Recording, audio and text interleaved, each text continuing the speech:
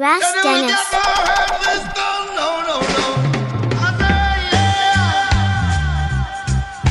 54 to 46 was my number is a song which was written by Toots Hibbert who was incarcerated in 1966 for marijuana possession at the Richmond Farm Prison in St. Mary, Jamaica.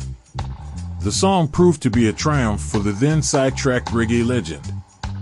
First released in 1968, the song was produced by Leslie Kong, a Chinese Jamaican businessman who operated Beverley's Records. Facts and culture. In 2018, he expounded on his suspicious arrest, telling the Jamaica Gleaner, among other things, that 54 to 46 was his prison number and that the arrest threatened to derail his budding career after he had won the National Festival Song Competition. Ras Dennis. This is Ras Dennis for Reggae Gist International.